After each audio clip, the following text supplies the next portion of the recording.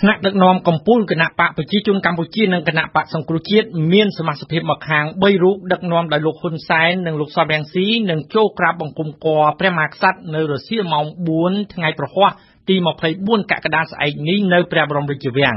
លទ្ធផលនៃកិច្ចប្រជុំចរចាឈានទៅបញ្ចប់វិបត្តិនយោបាយក្រោយការបោះឆ្នោតកាលពីព្រឹកថ្ងៃ22កក្កដា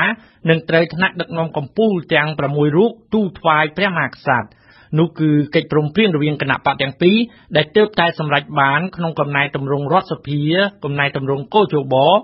រួមទាំងការបញ្ចប់វិបត្តិនយោបាយដោយគណៈបកសង្គ្រោះជាតិព្រមព្រៀងចូលរដ្ឋសភាជាដើមគម្រោងចូលក្រាបបង្គំគាល់និងទូលថ្វាយព្រះមហាក្សត្ររបស់ថ្នាក់ដឹកនាំកម្ពុជាគណៈបកជាប់ឆ្នោតទាំងពីរ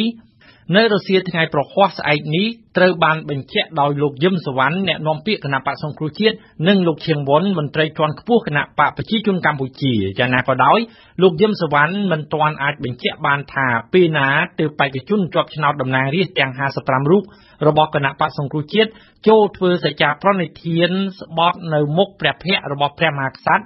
នៅក្នុងព្រះបរមរាជវាំងមុននឹងចូលរួមកិច្ចប្រជុំរដ្ឋសភានោះទេ ប៉ុន្តែលោកឈៀងវុនបានបង្ហើបថាថ្នាក់ដឹកនាំគណៈបកទាំងពីរអាចនឹងទូលសុំយាងព្រះមហាក្សត្រធ្វើជាប្រជាធិបតីភាពក្នុងពិធីសច្ចាប្រណិធានស្បត់ជាតំណាងរាស្ត្ររបស់គណៈបកសង្គ្រោះជាតិនៅថ្ងៃសុក្រទី25កក្កដាជាមួយគ្នានោះលោកយឹមសវណ្ណក៏បានអះអាងថា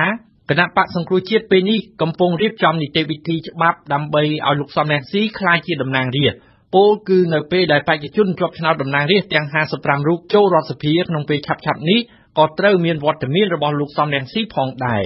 ការសម្រេចបានកិច្ចព្រមព្រៀងនឹងការសម្រេចចូលរដ្ឋសភារបស់គណៈបកសង្គ្រោះជាតិត្រូវបានលោកជឹមសវណ្ណគូបញ្ជាក់ថាមិនមែនជាការបែងចែកអំណាចជាមួយនឹងគណៈបកប្រជាជនកម្ពុជាទេប៉ុន្តែជាការទៅទទួលយកអាសនៈដែលប្រជាពលរដ្ឋម្ចាស់ឆ្នោតបានប្រគល់ឲ្យគណៈបកសង្គ្រោះជាតិតាមរយៈការបោះឆ្នោតកាលពីថ្ងៃ28កក្កដាឆ្នាំ2013